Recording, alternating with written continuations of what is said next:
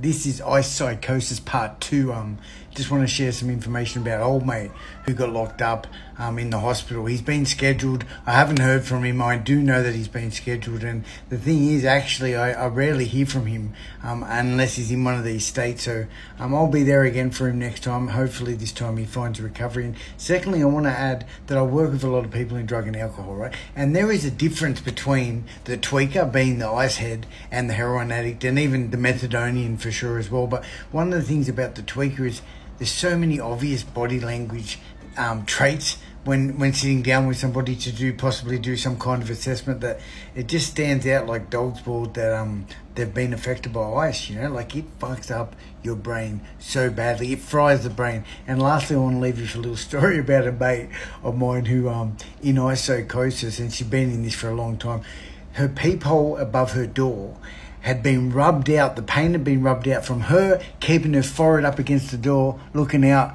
way too often, like every day. Imagine how sad is that actually? Thanks, guys.